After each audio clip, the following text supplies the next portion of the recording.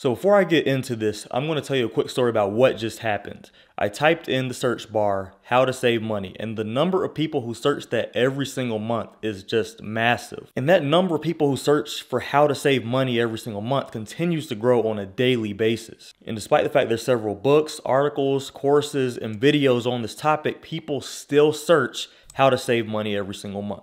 And I think the problem is it's much, much deeper than actually just saving money and having the practical knowledge to save money. That's something I stressed a lot in one of my most popular videos ever, how to save money with low income. If you haven't seen that yet, go check that out right after this video. I'm linking it right up here. But anyways, I think that because when it comes to saving money at a young age, it feels like there's a million obstacles in your way that you just can't seem to get past. I remember just thinking, if only I got paid more every single hour. And you probably feel the same exact way that I did. You may even be thinking to yourself, if only I didn't have that car payment, I'd be able to put away so much more money. You know what? A lot of guys think about money in this same negative way. And I'm here to tell you this it's self limiting beliefs like those that are holding you back. And I know because they held me back too. And that's what this entire video is all about. You're about to learn how to save money fast as a teenager in the easiest way possible. What's up, man? My name is Reggie Bryant, and this channel is all about personal growth and personal finance so you can better yourself every single day and live life on your own terms. I talk about saving money, getting out of debt, and increasing your income so you can control your life. Let's get into the video. Now, when you're a teenager between the ages of 14 and 18, what do you and most guys have in common? You're constantly overloaded with the new Jordan releases, the newest video games, the nice watches, and fresh clothes. And you know what? You want these things and it's hard it's almost impossible to resist these things i mean how could you because you know what the dude walking by you has the fresh space jam jordans on or the new grape jordan 5s how can you resist that you see it all around you it's broadcasted all around you people around you are wearing these things and they're getting compliments on these things it's hard to not want those things. It's, it's hard when you go over your friend's house and they're playing the latest PlayStation game on their gigantic flat screen TV. It's hard to resist that type of stuff. It's all around you and it makes you want it even more. And I know because I wanted these things when I was a teenager. I wanted them hardcore, but as I said in my frugal living video, it completely gave me the wrong mindset about money. I was in the mindset of do the work, get the money, spend the money, start at zero dude, you're about to be a full on adult. You can't have the same type of mindset that I had. You just can't. And here's exactly why, bro. Because all of these things cost money. None of these things are necessities at all. Your future is necessary. And guess what? Guess what costs money? Your future. And that's exactly why you've got to have a plan. You see, when I finally realized that using the small amounts, the little bits of money that I was making as a teenager to buy these things, sure, I got the shoes, sure, I got the video games, and I felt like I was the man. But guess how much money I had left? Exactly. And, the reason I'm sharing this with you is because, yeah, that was my mentality as a teenager. But there's so many of us grown men who are using this same mentality within their adult lives. And if you approach real life this way, you're done for. That's the exact same behavior that will cause you to live paycheck to paycheck, just like most people do now. And for me, at least, that type of thought hits a little different because when you grow up thinking that majority of your family has money, you grow up and you see the houses, you see the cars, you see the brand new TVs, you see the shoes, you see the nice suits, you see the nice clothes. You see all these things that your family can afford, right? But then you grow up and you realize the whole time they were living paycheck to paycheck, just scraping up their money from one paycheck to another just to survive. That's how most people live. On the outside, it looks like they have it all together. On the outside, it looks like they have their money, their finances, their debt, all that stuff together. They don't have to worry about none of that. But that's how it looks. The reality of the situation is they don't have any money left over. Just like when you're a teenager and you buy those new Jordans, those new video games, though the newest cell phone release, it looks like you have it. But in reality, you spent all your money on that, so now you don't have anything left over. I know because I experienced it. And, and when I found this stuff out, I just figured for myself, you know, I don't want that for myself.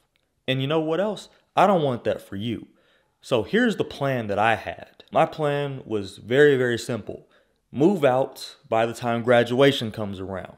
And as simple as that plan sounds, you'll be amazed at just how much putting your goals and your plans in front of you will change the way you think of things. When you aspire to move out at an early age, guess what? That changes your spending habits. That changes the way you think and that changed the way that I think about the the new Jordans, the new video games, the the new the new fresh shirts, you know what I'm saying? It changed my mentality about those things because I knew that if I wanted to move out at a certain point, spending all my money on that stuff is going to drastically hold me back month after month after month. It can even hold you back for years. And it caused me to start thinking, okay, how much money do I need to have saved to move in and get my own place? How much money do I need to have as a buffer in my bank account? How much needs to be in my checking account? How much needs to be in my savings account?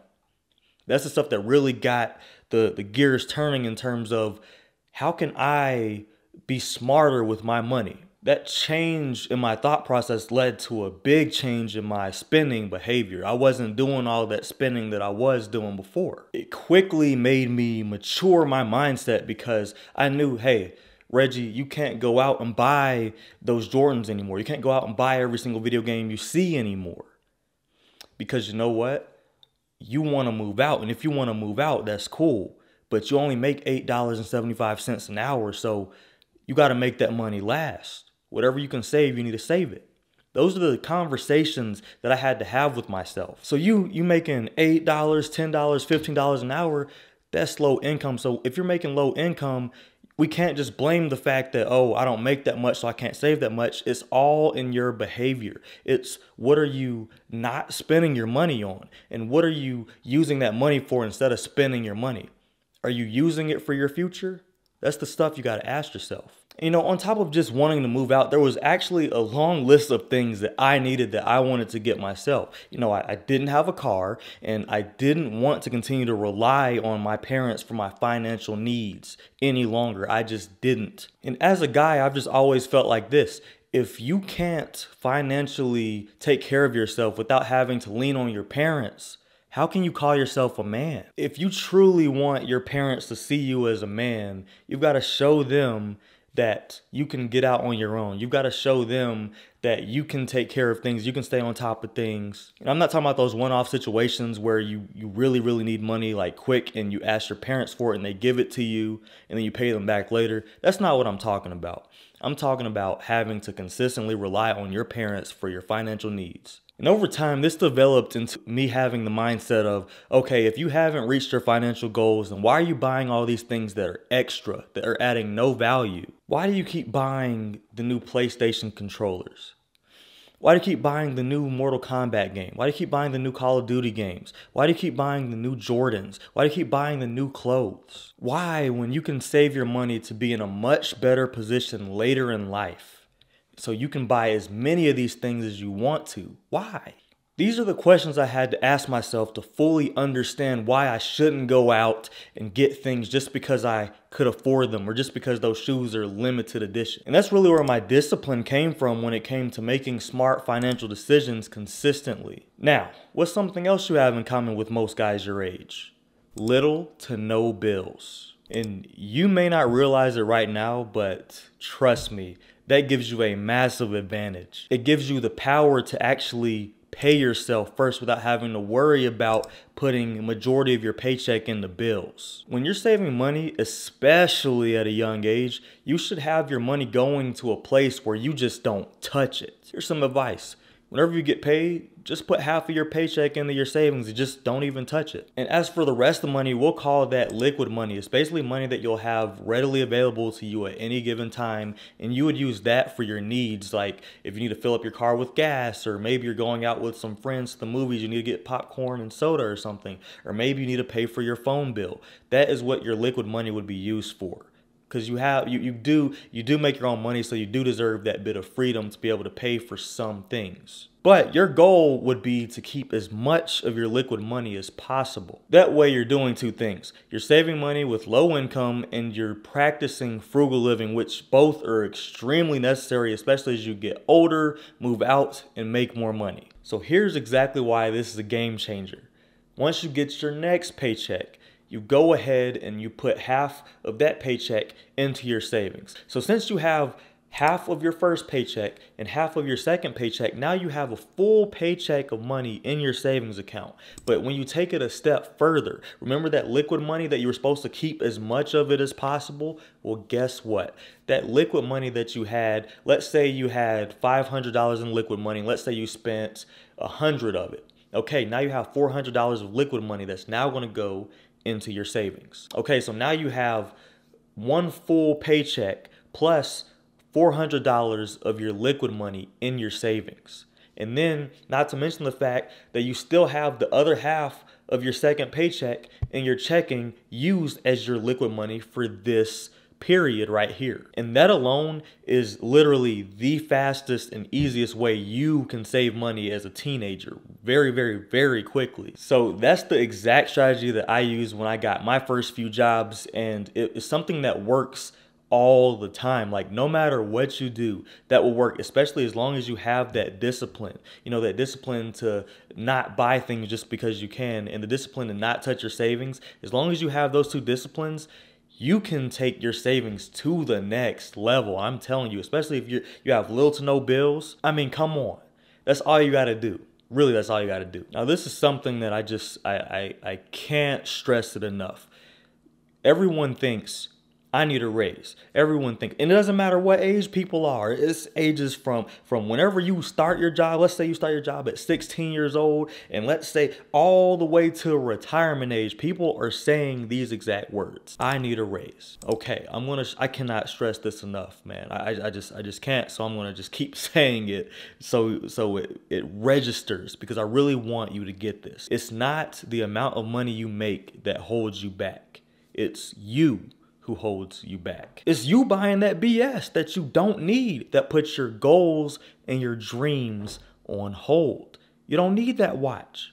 You don't need those Jordans.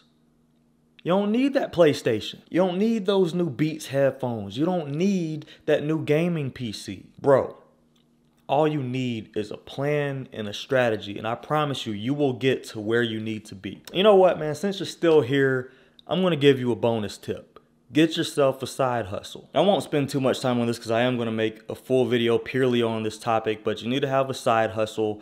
Uh, a big frustration of mine when I was younger is that I had to wait two weeks to build my savings every single time.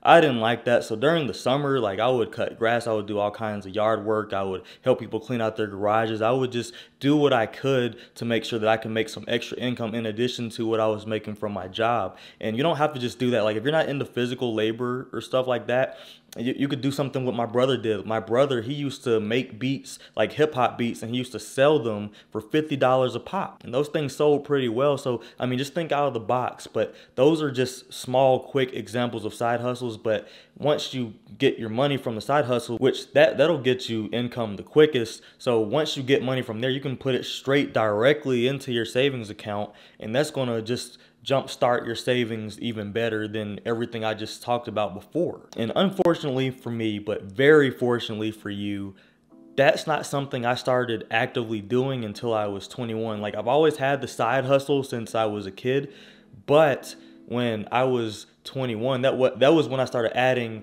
what I made from my side hustle into my savings. Before, I would just treat a side hustle as as, you know, just spending money, really just just fun money to spend whatever I wanted it on. But when I was 21 and I really had a sharper mindset around money, I, I put everything from a side hustle directly into my savings.